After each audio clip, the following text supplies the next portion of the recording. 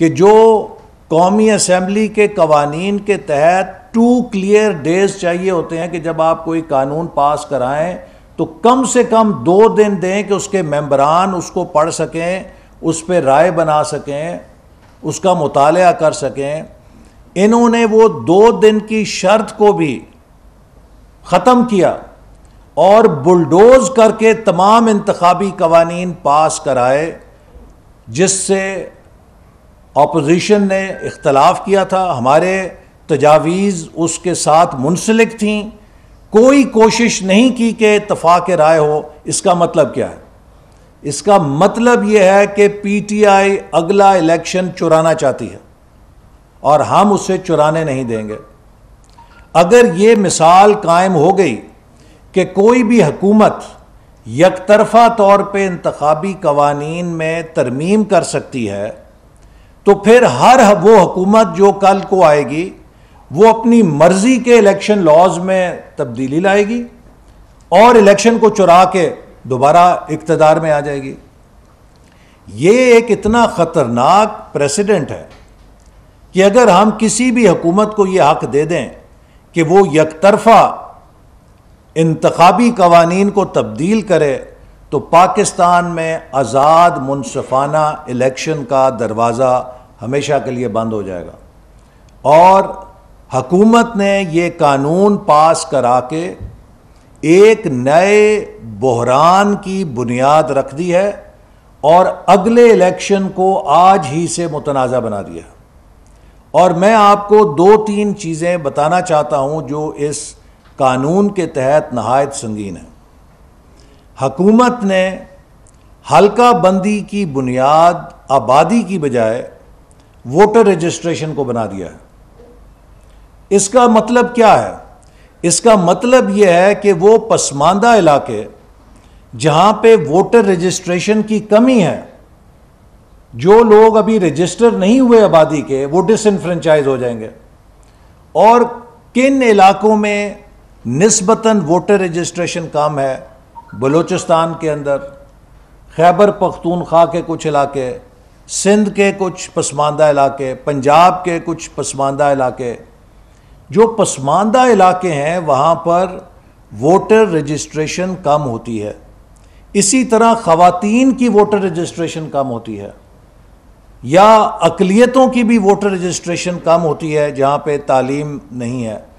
तो हमारे वो तमाम मुल्क के हिस्से जो पसमानदा हैं और वो तमाम तबके जो पसमानदा हैं, जिनकी वोटर रजिस्ट्रेशन में कमी है, उन सबको हम डिसनफ्रेंचाइज कर रहे हैं। हम उन्हें कह रहे हैं कि हमें आपके वोट बनाने की ज़रूरत नहीं है, हमें आपके वोट की ज़रूरत नहीं है, आप इंतबी अमल से बाहर रहें और जो लोग रजिस्टर हैं, हम उन्हीं के साथ हल्का बंदी करेंगे।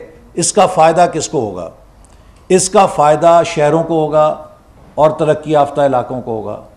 और ये जो शर्त है, ये उन्होंने अपनी एक इतिहादी जमात के फरमाइश पे रखी है, ताकि कराची में दो सीटें बढ़ जाएँ जाएँ, बलूचिस्तान और खैबर पख्तूनख्वा से सीटें घट हो जाएँ, घट जाएँ। ये किस किस्म की आप सियासी रिश्वतें बांट रहे हैं कि जिससे आप पाकिस्तान के वफाक को चैलेंज कर रहे हैं, पाकिस्तान की आबादी को डिसइनफ्रेंचाइज कर रहे हैं हमेशा हल्का बंदी की बुनियाद आबादी होती है, ताकि हर पाकिस्तानी शहरी हल्के के अंदर आए, हल्के की तकसीम में उसका वज़न आए और फिर उनके वोटर वोट बनाए जाएँ। ये अगर किसी का वोट नहीं बना तो उसका ये मतलब नहीं है कि उसे बाहर फेंक दिया जाए तराजू से। उसका वोट बनाया जाना चाहिए और उसको बीच में शामिल किया जाना चाहिए। तो ये एक बड़ी ख़तरनाक तब्दीली है कि हल्का बंदी को आबादी की बजाय वोटर रजिस्ट्रेशन के ऊपर ले गए हैं। दूसरी अहम जो ख़तरनाक बात है कि वोटर लिस्ट की जो कस्टोडियनशिप है, वो इलेक्शन कमीशन से निकाल के नादरा को दे दी है। अगर नादरा वोटर रजिस्टर मेंटेन करेगा वोटर्स का ये तो फिर हुकूमत के पास आ गया एग्जेक्टिव अथॉरिटी के पास आ गया।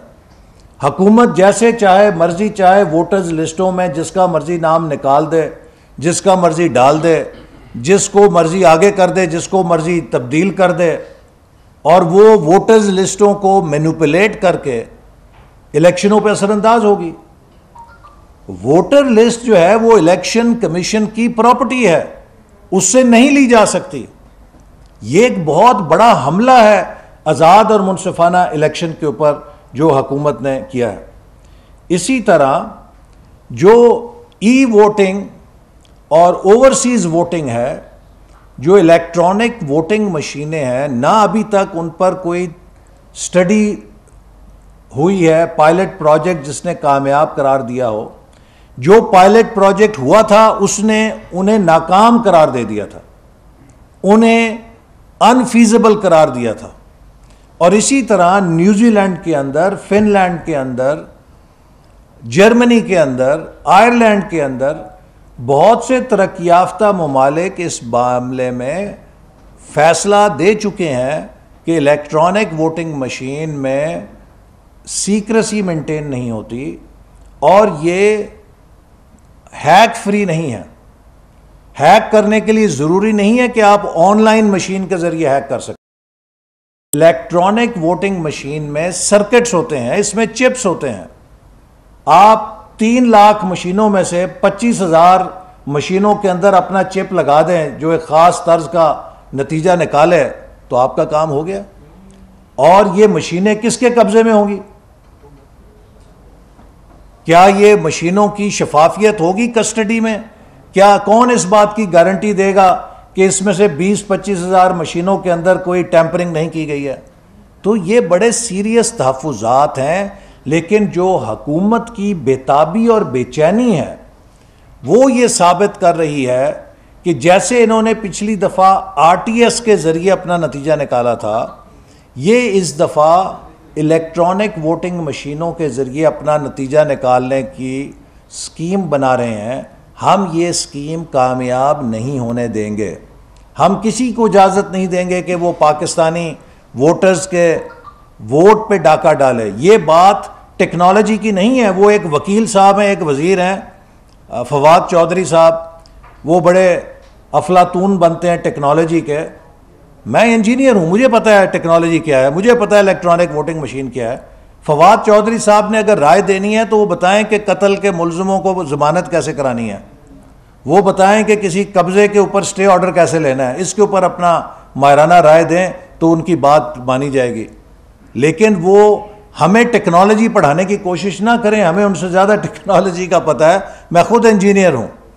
तो लिहाजा इलेक्ट्रॉनिक वोटिंग मशीन अगर कोई हाल होती तो अमेरिका जैसा मुल्क, बरतानिया जैसा मुल्क जर्मनी जैसा मुल्क, जिनके पास वसाइल भी हैं और जहाँ टाइम की बहुत ज़्यादा कीमत है, हमसे ज़्यादा वो लोग टाइम के बारे में पाक हसास हैं तो वो ये सब इख्तियार कर लेते। इसी तरह जो ओवरसीज़ वोटिंग है अपोजिशन ओवरसीज़ पाकिस्तानीज के वोटों की मुखालिफ नहीं है।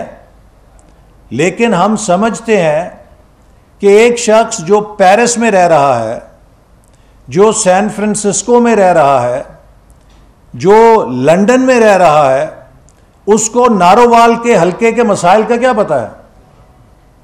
उसको लाला मूसा के मसाइल का क्या पता है? उसको जैकबाबाद के मसाइल का क्या पता है? उसको कलात के मसाइल का क्या पता है? उसे सवाबी के मसाइल का क्या पता है? या कालाम के मसाइल का क्या पता है? उससे तो आप पूछें कि लंदन की आबो हवा कैसी है?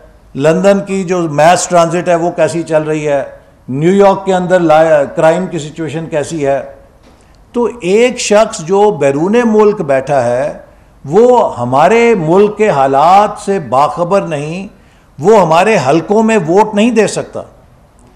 लेकिन चूँकि ओवरसीज़ पाकिस्तानी हमारा असासा है तो उनके लिए नशस्तें मखसूस की जा सकती हैं। वो अपने नुमाइंदे भेजें कौमी असम्बली के अंदर।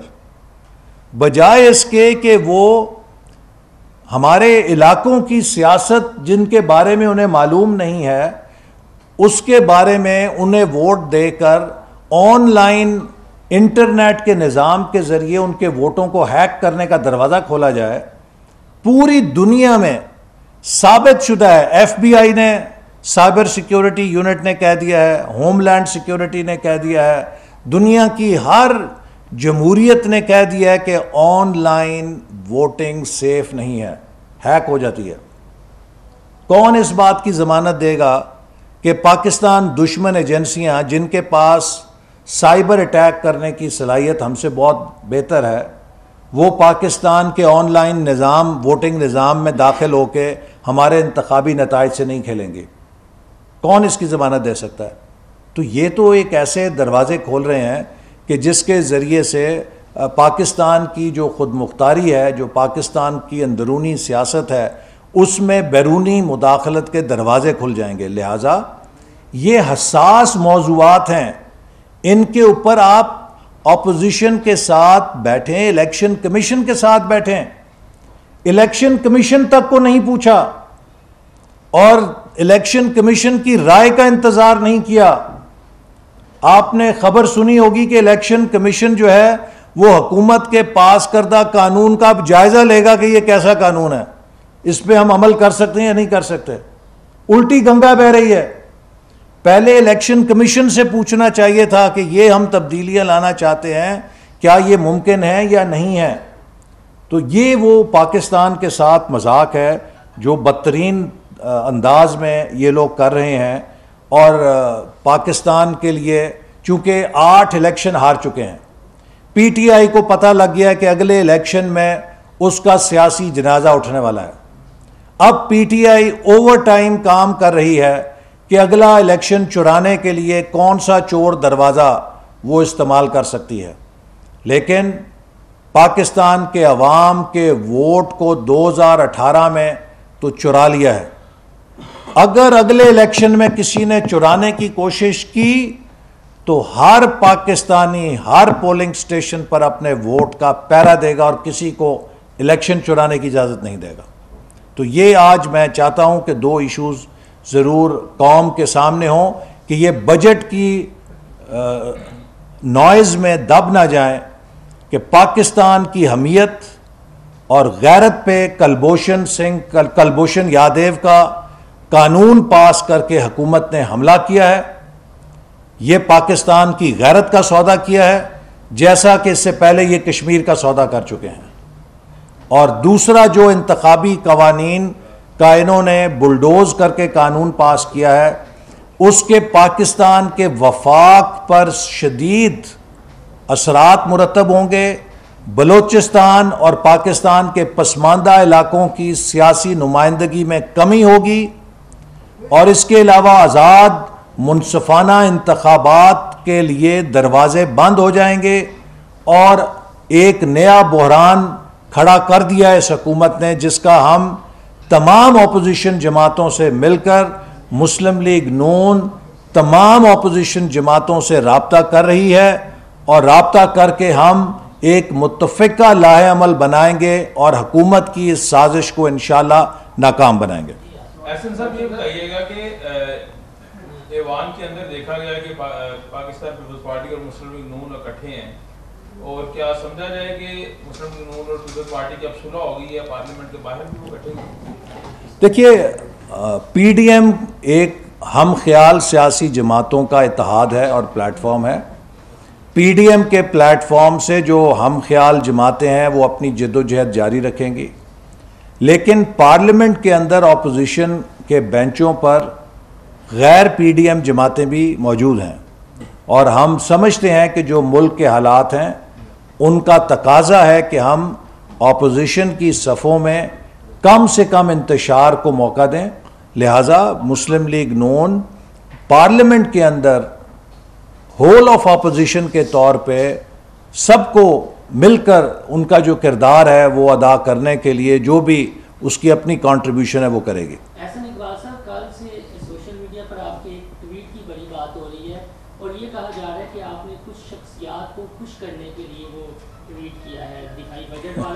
और खुश करना चाह रहे कि क्योंकि अगर उन्हें इतराज़ नहीं है तो क्या आप उनके तर्जमान है देखिए मैंने तो मैंने तो हर तरह से इस बजट पर तबसरा किया है।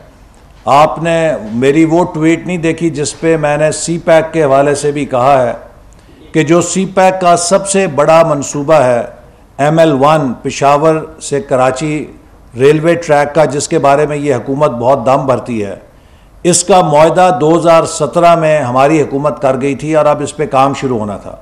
तीन सालों से इन्होंने काम नहीं शुरू किया। इस साल जिस मंसूबे की लागत एक हज़ार एक सौ उन्नीस अरब है। उस मंसूबे के लिए सिर्फ़ छः अरब रुपए बजट में मुख्त किए गए हैं। इसका मतलब यह है कि यह मंसूबा एक सौ छियासी सालों में मुकम्मल होगा। ये आपकी संजीदगी है। ये आपकी सी पैक के साथ कमिटमेंट है। आप दम भरते हैं कि हम जो है रेलवे के निज़ाम को जदीद बना रहे हैं। मुस्लिम लीग नून ने आखिरी साल रेलवे को तिरतालीस अरब का डेवलपमेंट बजट दिया था। आपने पिछले दफ़ा 16 अरब दिया था और अब 30 अरब है। आज भी 13 अरब कम है जो हमने दिया था। हमने 2017-18 में नेशनल डेवलपमेंट के लिए 2100 अरब का बजट पेश किया था। 2100 अरब का 2017-18 में। आज चार सालों के बाद आप 2100 अरब का डेवलपमेंट बजट पेश कर रहे हैं और अगर इसमें आप इन्फ्लेशन डाल लें और अगर आप इसमें रुपए और डॉलर की जो अदम हुई है तोज़ुन हुआ है, उसको डाल लें तो आपका ये 2100 अरब जो है 2017-18 के मुकाबले में मेरा ख्याल है 1400 अरब भी नहीं होगा। तो आप पाकिस्तान को आगे ले जाने की बजाय पीछे लेकर जा रहे हैं। किस बात की आप तालियाँ बजा रहे हैं। किस बात के आप जश्न मना रहे हैं? तो मुल्क की डेवलपमेंट का बेड़ा गर्क कर दिया। और इसी तरह जो मुल्क की सिक्योरिटी है, देखिए, मुल्क की सिक्योरिटी हर पाकिस्तानी के लिए बहुत हसास है। और कल जब उन्होंने इस बात को बड़ा फखरिया पेश किया कि हमने 1370 डिफेंस का बजट पेश किया है तो मैंने उस पर उन्हें आईना दिखाया कि जनाब, आपने तो तीन साल से तकरीबन 1300 अरब पे बजट फ्रीज किया हुआ है। इस दौरान तीन सालों में भारत ने बासठ फ़ीसद इजाफा किया डिफेंस बजट में। मुस्लिम लीग नून की हुकूमत जब दो हज़ार इजाफा किया था डिफेंस बजट में। न सिर्फ़ डिफेंस बजट में इजाफा किया था, बल्कि फ़ीसद यूनिवर्सिटीज के और डेवलपमेंट के बजट में भी। जब हम इकतदार में आए हैं तो 340 अरब का पीएसडीपी था। और हमने जब हुकूमत छोड़ी है तो उसे हम एक हज़ार अरब पे छोड़कर गए थे। पाकिस्तान की तारीख में हाईएस्ट डेवलपमेंट बजट था और हाईएस्ट डिफेंस बजट था। अगर मीशत आपकी तवाना होगी तो आप अपनी डेवलपमेंट की ज़रूरत को भी पूरा करेंगे और दफ़ा की ज़रूरत को भी पूरा करेंगे। लेकिन अगर आपकी मीशत को मफलूज और बीमार कर दिया जाएगा तो ना आप अपने सलामती के तकाजे पूरे कर सकते हैं, ना आप अपनी तरक्की के तकाजे पूरे कर सकते हैं। तो इस हकूमत ने पाकिस्तान से तरक्की भी छीन ली है और इसकी सिक्योरिटी को भी दाव पे लगा दिया के ऊपर क्या ये जो दौरा सऊदी अरब था, जिसमें इमरान खान भी और हमारे सरबराह भी वहाँ पर गए थे क्या ये उसका शाखसाना है या किसी किसी को खुश करने के लिए तमाम चीज़ें की गई हैं बैसियत मफलूज हो गई और एक जासूस जिसके ऊपर जो सबक वज़ीर थे उनके ऊपर भी इल्ज़ाम लगता था कि ये उसके सपोर्टर हैं फैसिलिटेटर हैं। और आज ये है कि हुकूमत उस पार्लियामेंट के अंदर ला के उसे दे है। तो कौन इसकी महरक़ात क्या अब आप देख रहे हैं ना कि आपके सामने असलियत आ गई है। ये कल तक हमें कलभूषण यादव के ताने देते थे। हमने तो उसे नहीं छोड़ा। हमने तो उसे एनआरओ नहीं दिया। आज इमरान न्याजी साहब कलभूषण यादव को एन दे रहे हैं। आज इमरान न्याजी साहब के दौर में पाकिस्तान इतना कॉम्प्रोमाइज हो गया है कि मोदी सरकार कश्मीर उचक के ले गई है। तो कौन पाकिस्तान का वफादार था और कौन पाकिस्तान का मुहाफ़ था? हम थे या ये हैं? ये एक ऐसी जिल्लत है मैं बैसियत मेंबर कौमी असम्बली समझता हूँ और मैंने कहा कि ये कालक कम अज़ कम मैं तो मलने के लिए तैयार नहीं हूँ कि ये पाकिस्तान का जो सबसे बड़ा ईवान है, ये एक भारतीय जासूस के नाम से कानून साजी करे। हम पर कौन सी तोप खड़ी है? हमें बताएँ ना कि हमारे सिरों पे कौन सी तोप खड़ी है कि हमने ये जिल्लत का प्याला पीना है। ये इनकी कमज़ोरी है। ये इनकी पाकिस्तान की तबाही है कि जिसके नतीजे में आप ये इस मुकाम पर आ गए हैं कि भारत को खुश करने के लिए उनके जासूस के नाम से कानून साजी कर रहे हैं।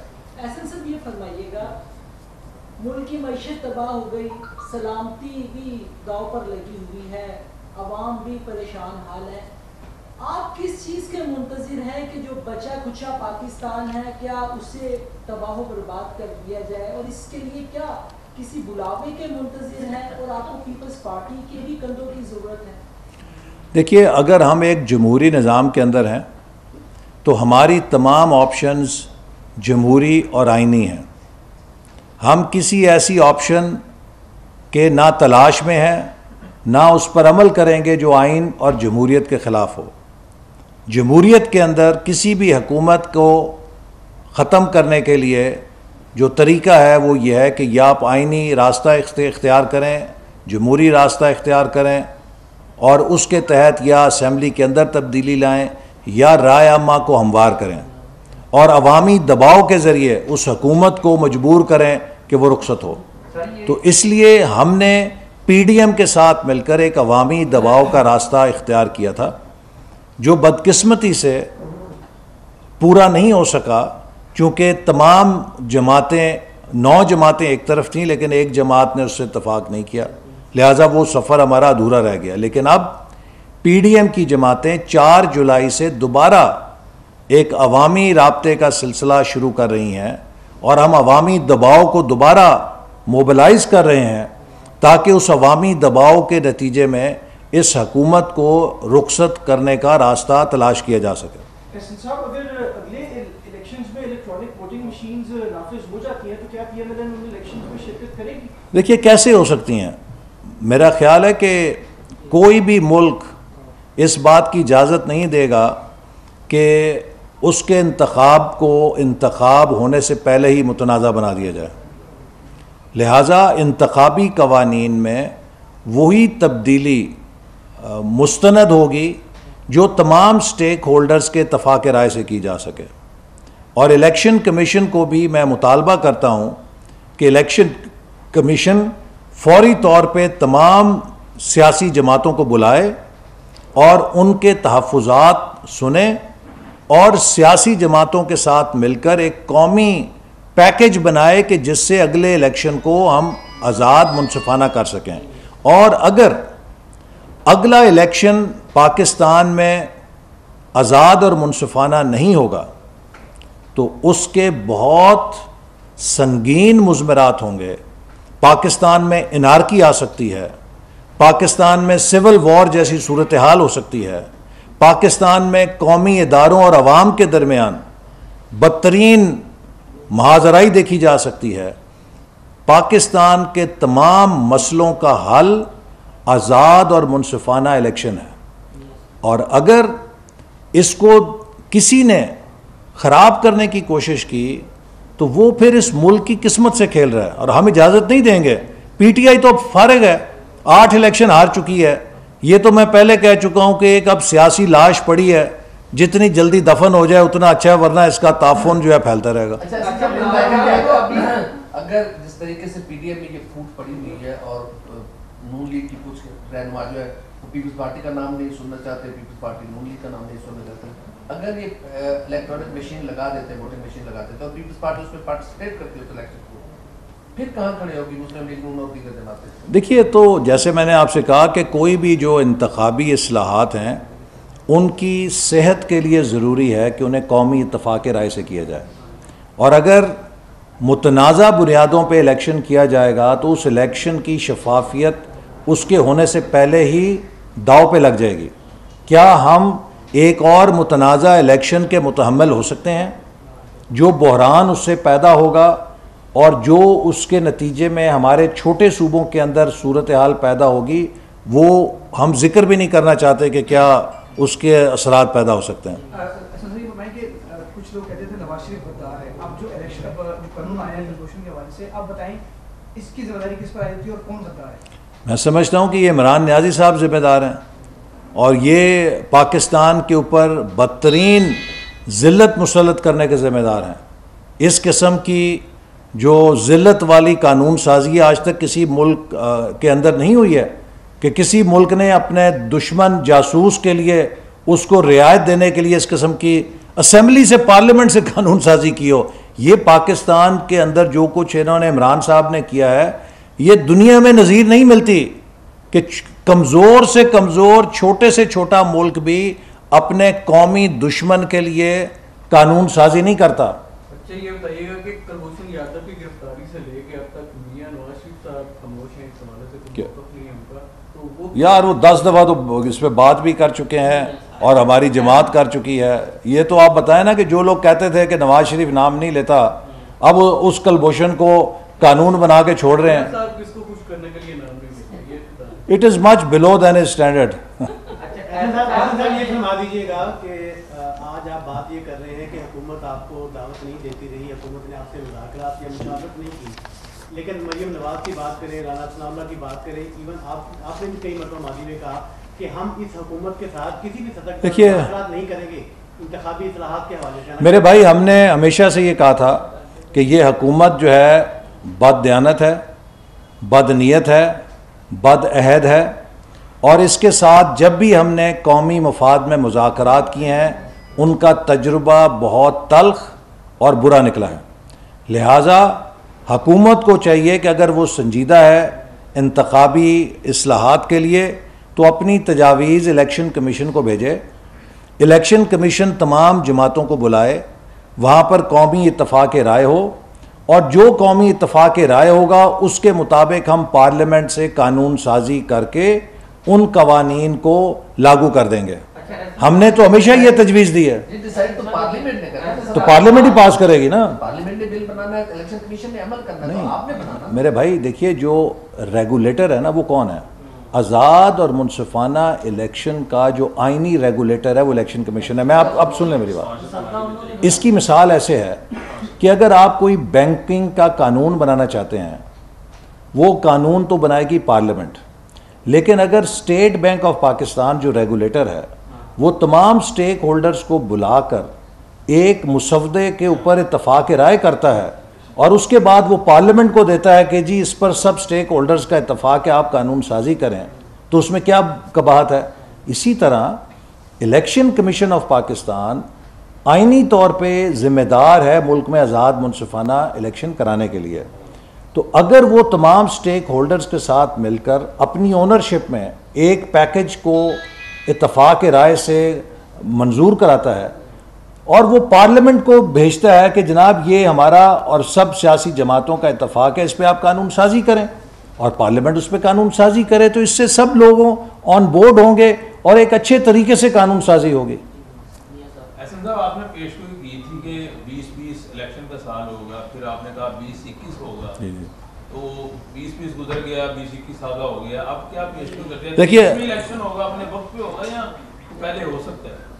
इलेक्शन तो ये हुकूमत जो है आ, मेरा ख्याल है कि जिन हालात में घिस चुक फंस चुकी है तो आप देखेंगे कि हो सकता है कि मुझे जो अंदाज़ा लग रहा है जिस उजलत के अंदर इंतबी कवानीन ये मंजूर करा रहे हैं हो सकता है कि इमरान साहब इस सोच में हों कि वो ख़ुद असम्बलियाँ तोड़ के पहले इलेक्शन कराएँ चूँकि उन्हें ये बताया गया है कि अगर आपने 2023 तक इंतज़ार किया तो जो चार सीटें आपको आनी हैं आप उनसे भी याद हो बैठेंगे तो है आपको